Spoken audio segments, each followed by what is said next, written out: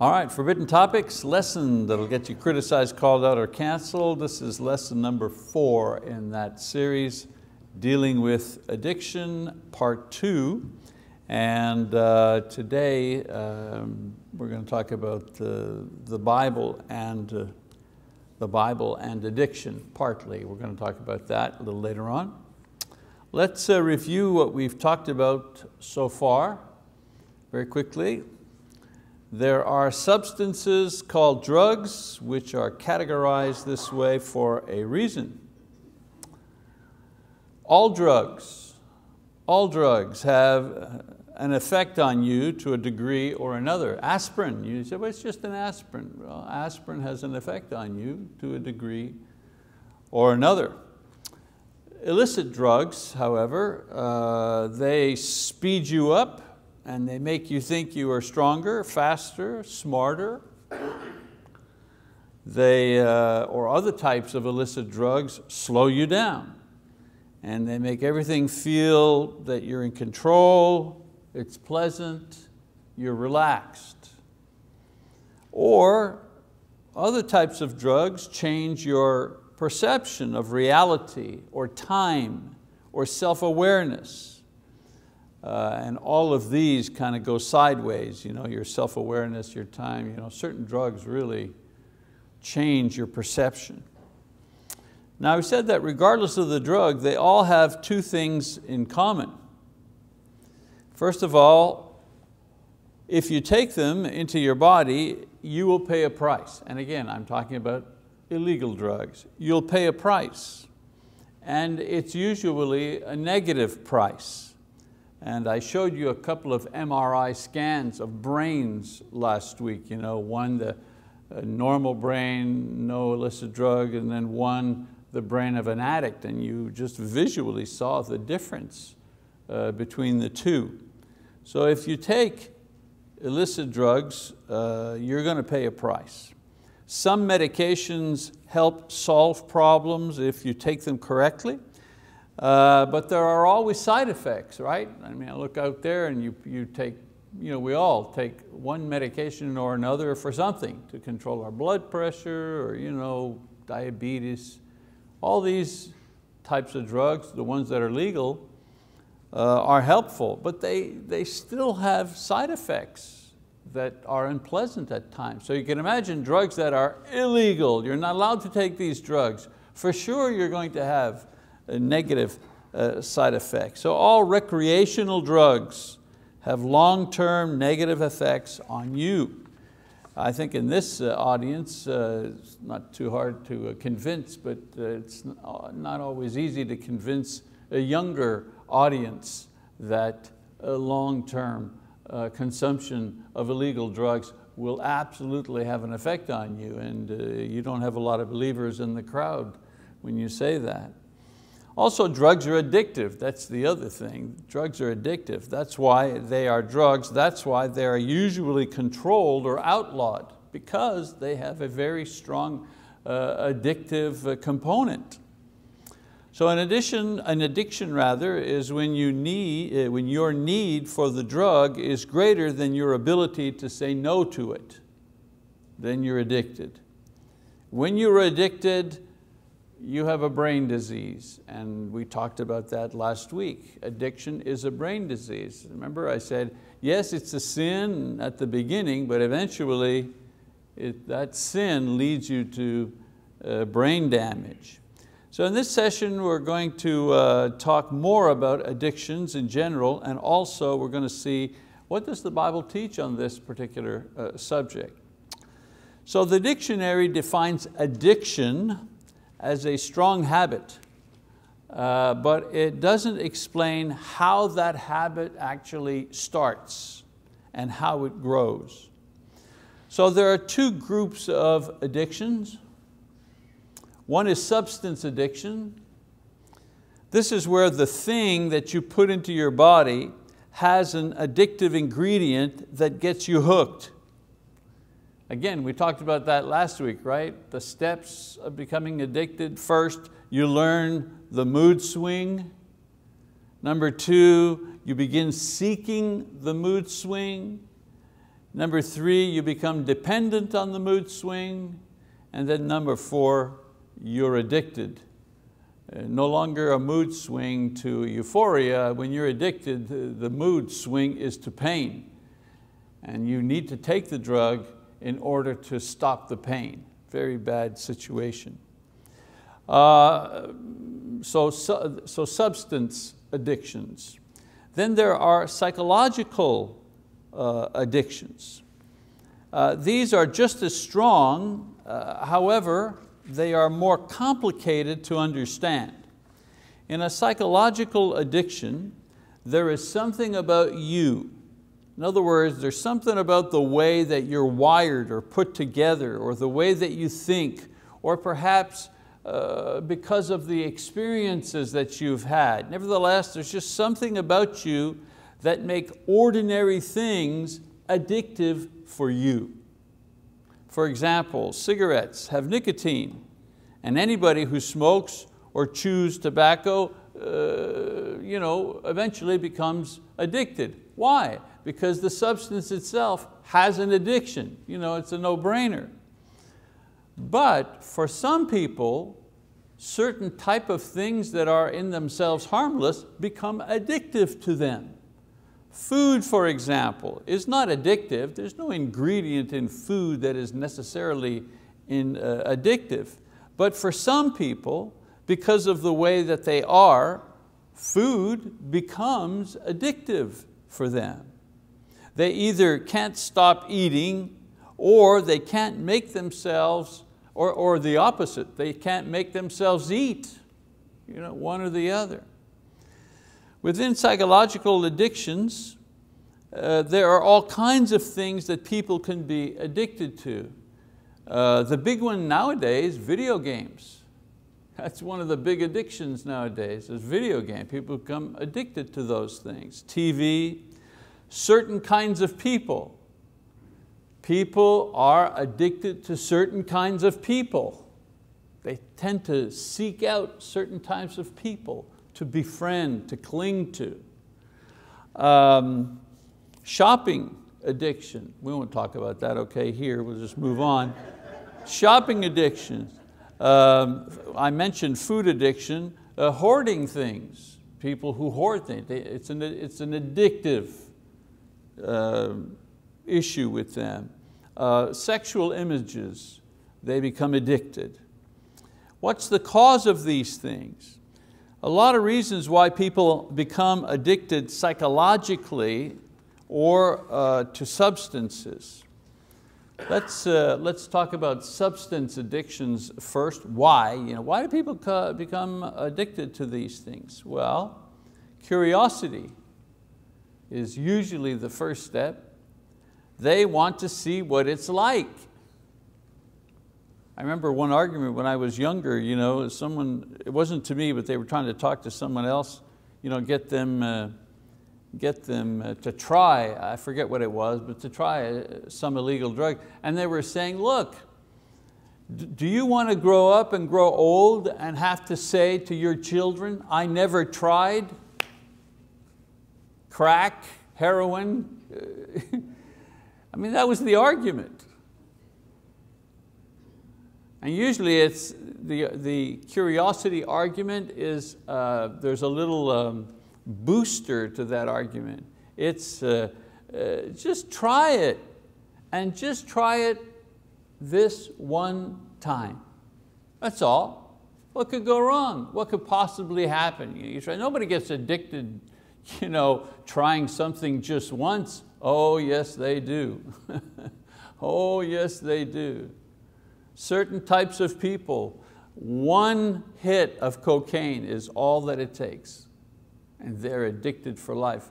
I know this because uh, my, uh, uh, my brother-in-law is uh, actually my cousin, right? My brother-in-law's son is like this. I mean, when he was 17, he, he went to a private school now you think you go to a private school, no danger, but he went to a private school and someone made him try cocaine. One time he tried it. He's 52 years old now. He's never held a job. He's always lived in halfway homes. He's been his whole life from that one moment, that one time he tried it when he was 17 years old, I remember that. So curiosity, peer pressure, people try uh, illegal substances because they want to fit in. They want to be part of the group. They don't want people to think that, well, they're not cool or whatever. They just don't want people to think that they're afraid or that they can't handle it. I mean, there's a hundred different, hundred different uh, reasons, but peer pressure. Very rarely does someone just sit at home by themselves and say, you know what, I think I'm going to call out, and see if I can find myself a, you know, some heroin, because I'd like to try that tonight here by myself. No. No, it's at a party and, uh, and the, the, music is loud and things are happening and there are nice girls and uh, this and that. And there's one guy and he's like one of the coolest guys that is there because everybody seems to gravitate towards that guy. And the reason that everybody's gravitating towards that guy is because that guy's got the drugs. It's always the guy with the drugs that's very, very popular. And so everybody is, you know, everybody there is, is trying. That's a form of peer pressure. So you want to try too, especially if you're a younger guy or girl. You don't want to be left out. Um, ignorance and immaturity young people, and this is for pretty much you know, all things, they don't believe the danger involved. They don't believe it's that dangerous driving 95 miles an hour in your car. They don't think it's that dangerous or going down a steep hill on their bike. You know, they don't think that's dangerous and taking drugs. They don't see that as being dangerous. Ignorance. And then there's depression.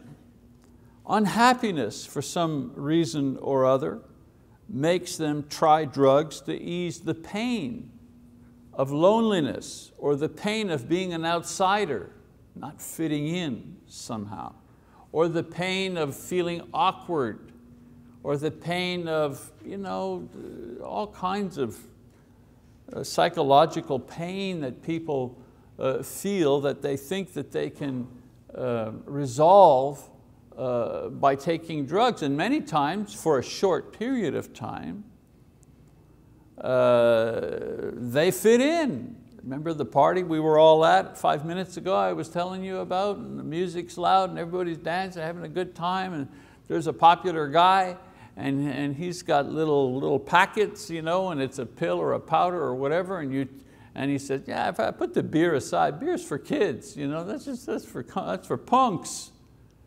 Try some real good stuff, try this.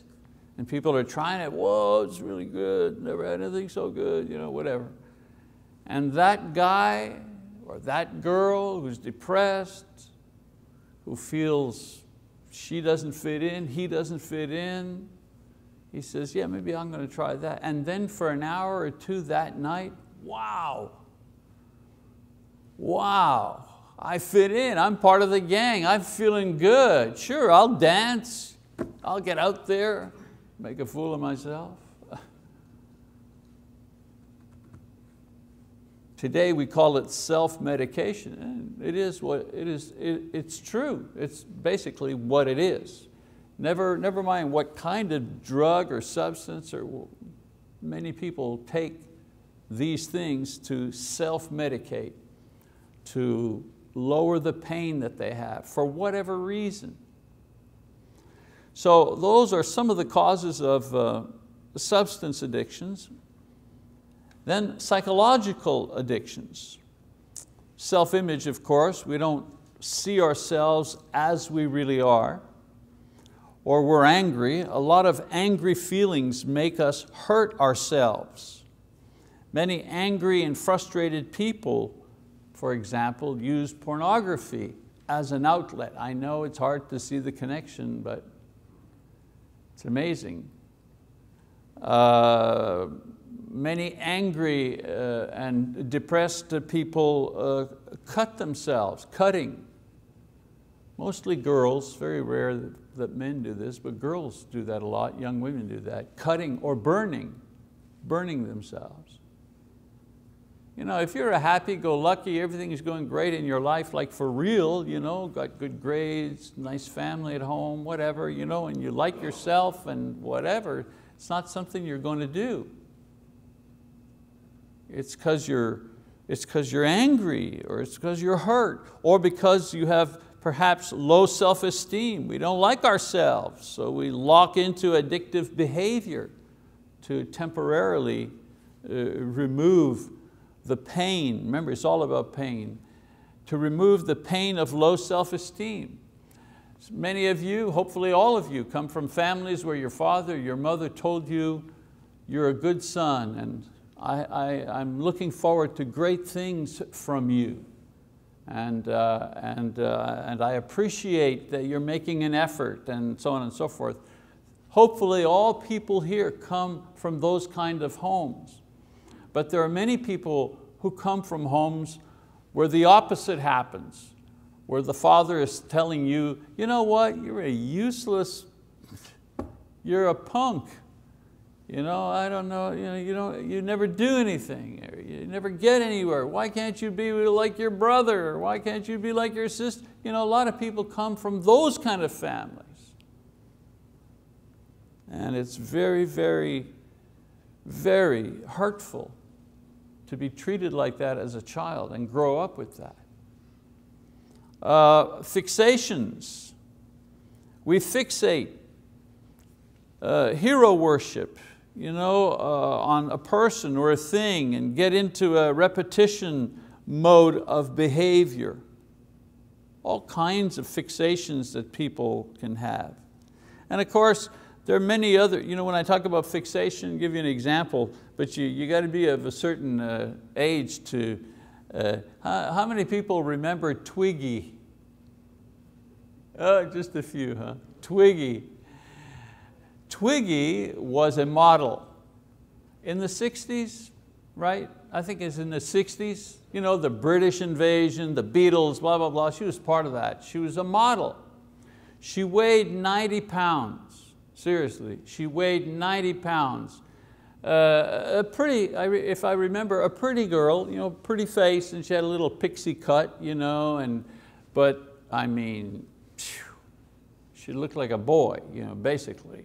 Two, her legs like two poles and two sticks for arm. I mean, she was just, you know, you'd say, if you were a mom, you'd say, get that girl in here and put some food into her. You know, she needs to, you know, we, we need to put a little bit of beef on you, girl. You know, she was like that, but she became an international superstar model.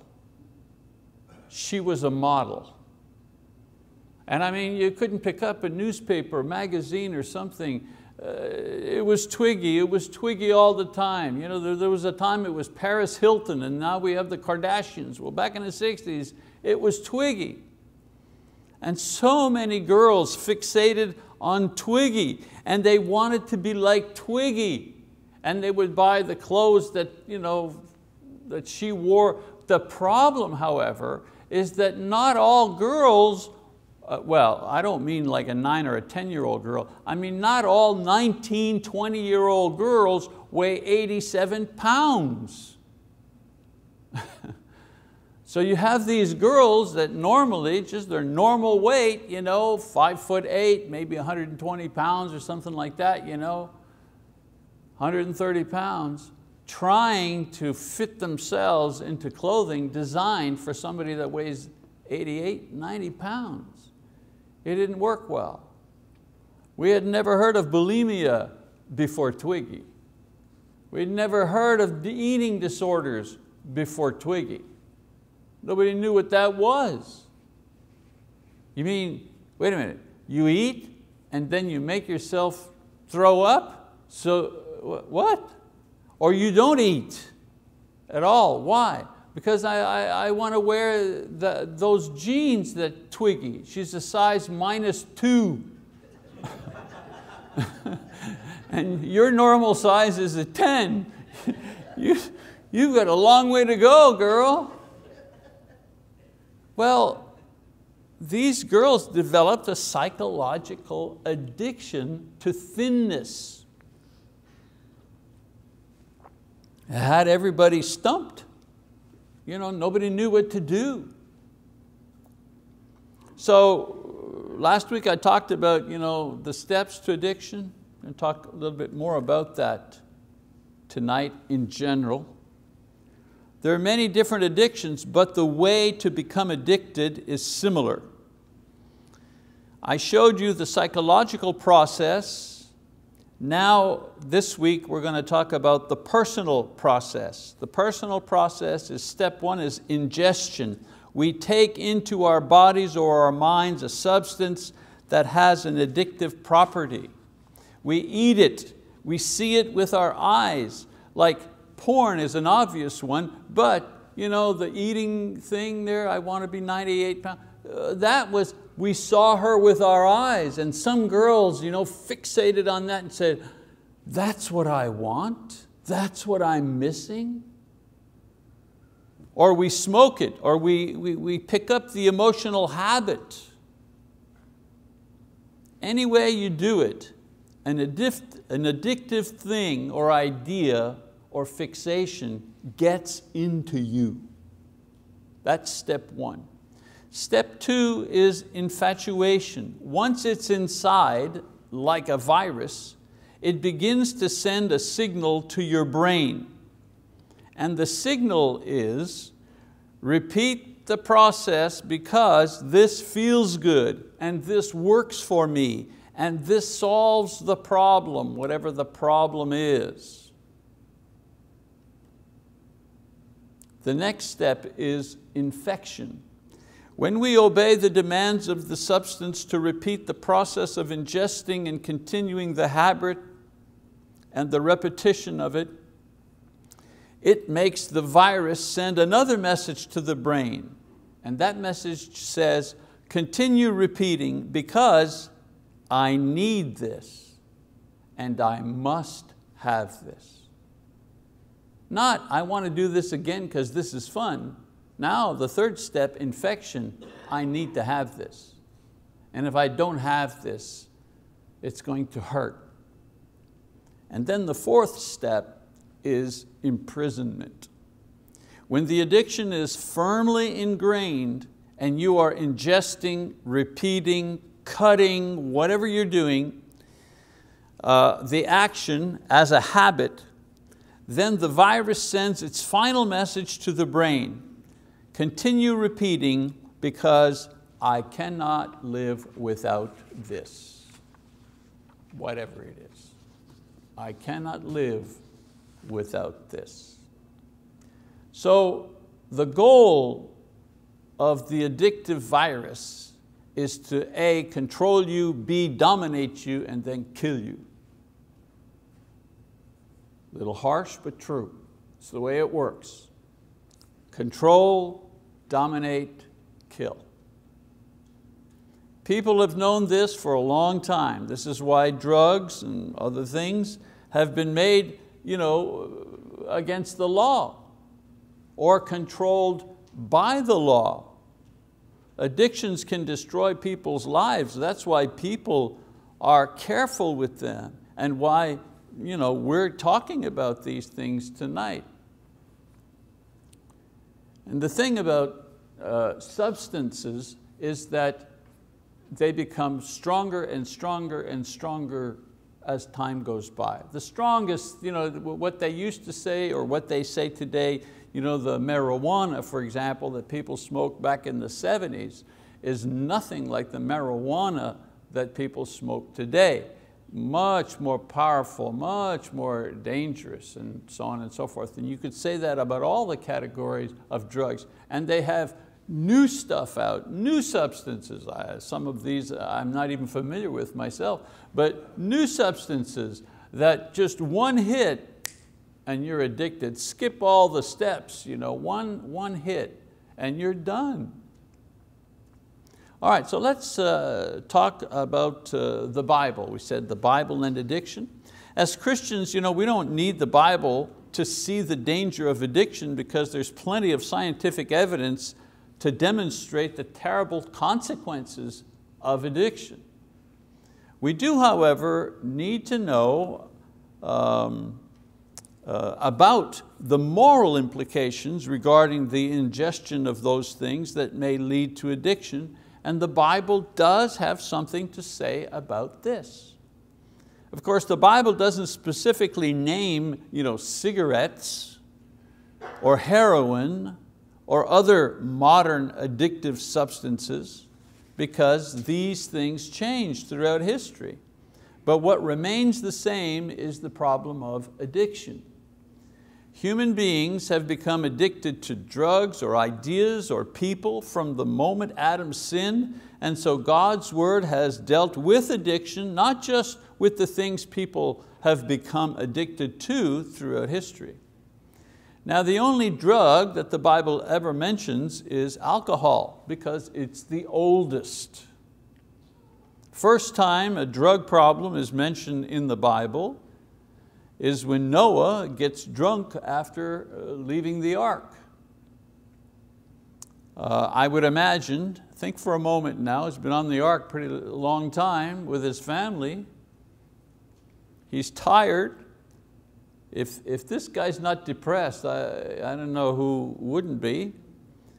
And so he plants a, a vineyard and it says he got drunk and he slept naked in his cave, probably you know, just too drunk to know what he was doing. And this led to his son mocking him and uh, created a problem in his family. And I think we're familiar enough with the, with the story. You know, one, one of his sons, Ham, sees his nakedness and comes out and we assume that he is disrespectful. And the other two brothers take a cloak and go in backwards, you know, kind of not looking at him and cover their father to cover his nakedness because it was an extremely disrespectful, dishonorable thing uh, to, to uh, see their father in that condition. And so throughout the Bible, the problem of drugs or addiction is dealt with by referring to wine simply because it was the most widely used drug at the time what the Bible says about addiction. Now when the Bible talks about addiction, it's talking about drugs and associated problems. So we read in Exodus 20 verse 3, and it says in Exodus chapter 20 verse 3, you shall have no other gods before me. So I want to kind of explain what this has to do with substance abuse. Addiction is when some idea or substance controls and dominates you. We've already explained that. God tells us that only He has the right to control and dominate you. Only He can be your God. The reason for this, or the reasons for this, are simple. You know why only God can be your God? First of all, God is the creator and He is worthy to be your leader and your God. Drugs, on the other hand, are things. They're part of the earth. A human dominated by God is natural, orderly, good. A human dominated by a thing is not natural and undignified. It's like a dog walking a man on a leash. It's got things in reverse. God wants to lead, when I say you, all of us, but God wants to lead you to a life of happiness and fulfillment and eternal existence. Addictions, on the other hand, lead to pain and death. Always, always always to pain and many times death. God has the right to lead. God gives you a life and all you have in this life. So He has a right to lead you. Addictions give nothing but misery and death. For a time, you know, for a season, there's pleasure for a season, but then comes the pain. So someone will say to me, well, what's the sin? Well, you know, uh, if I take, uh, you know, if I go in my, uh, my brother's uh, house and I steal his TV, it's called, you know, it's called theft. Thou shalt not steal. You know, that's the sin. If I, if I you know, have sex with uh, someone who is not my spouse, uh, well then that's, uh, you know, there's a name for that, that's adultery, that's the sin, that, that action right there is a sin and it's called adultery. But taking drugs and illegal drugs, what is that? What's the sin there? The sin is idolatry. That's the sin. It's the sin of idolatry. You are taking something into yourself that will eventually dominate you. It will become your God. That's the sin. And we are only allowed to have God as our God. Another passage of scripture, Paul says in Romans 12, 1 and 2, Therefore I urge you, brethren, by the mercies of God, to present your bodies as a living and holy sacrifice, acceptable to God, which is your spiritual service of worship. And do not be conformed to this world, but be transformed by the renewing of your mind, so that you may prove what the will of God is, that which is good and acceptable and perfect. So the purpose of our lives is to find God and to serve Him and to honor Him with what we say and do. That's, you know, somebody said, I don't know what life is about. Anytime someone says to you, I don't know what life is about, I'm trying to find the meaning of life. Well here, go to Romans 12, 1 and 2, and the meaning of life is right there. What is my life about? My life is about serving God, finding out who He is and serving Him, knowing Him, knowing His will and doing His will. That's what our life is about. The rest is wallpaper. I work at GM, that's wallpaper. I have a house in the city and a house in the country. That's wallpaper.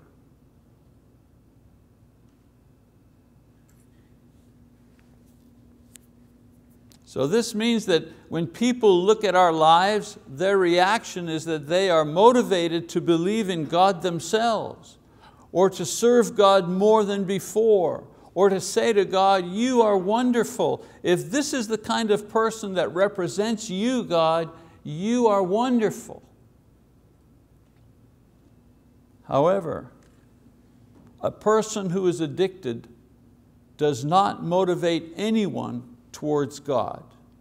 There is nothing spiritual or godly about someone who is a slave to something. Whatever that is, they smoke, they, they, they, whatever they look at, they sniff, they eat, they think, they do to themselves. How many of you would take me seriously about anything that I said? Or how many of you would really make a greater effort to become better Christians if you found out that I secretly was a heroin addict? If one day you went into my office and you, you, know, you came to see me and I wasn't there and I happened to carelessly have left on the counter on the uh, bookcase you know, a, a plate with a needle and all the paraphernalia uh, to take a heroin hit. How, you know, how much respect would you have for what I am uh, preaching and teaching? How many, uh, uh, excuse me, the power of my influence rather over you for good is based on my ability to give a good example of freedom from addiction. For starters, of course, preachers are not without sin. That's absolutely true. But they must not be slaves to sin. I trip over sin, I step into sin, I sometimes willfully go ahead and sin because I'm angry or whatever. But I'm not a slave to sin.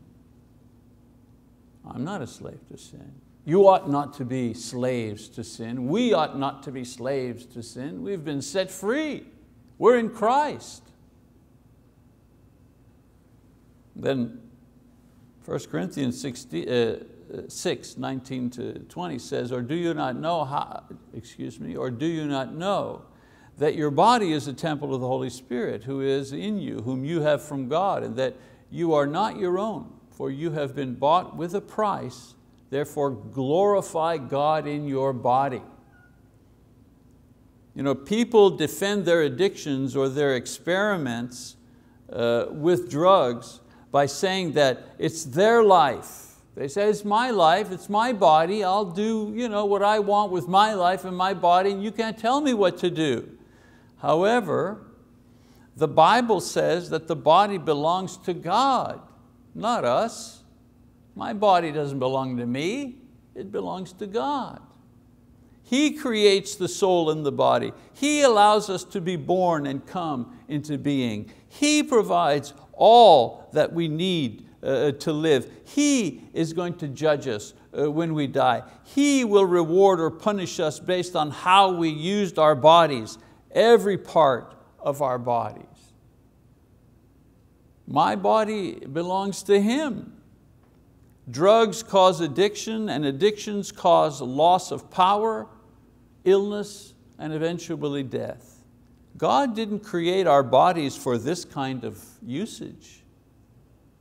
Our job is, is to uh, find out what God wants us to do with our bodies and our minds and our talents.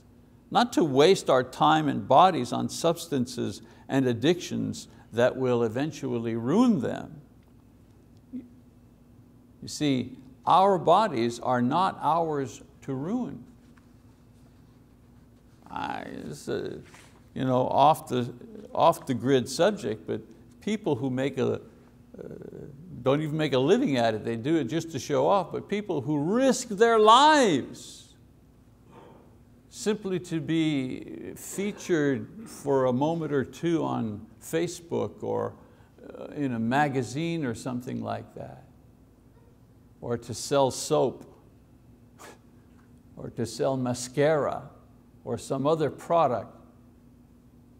You have people who risk their lives, jump out of planes, do all kinds of things where they actually risk their lives. They risk their bodies.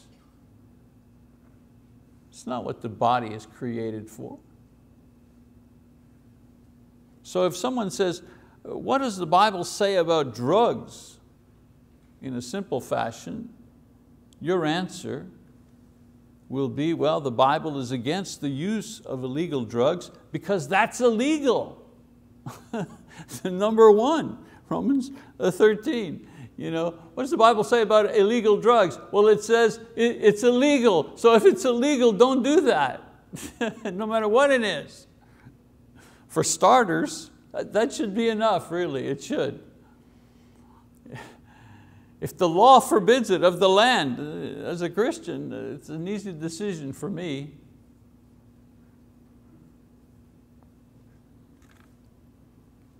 But the Bible is against the use of illegal or legal drugs in the wrong way because they lead to addiction.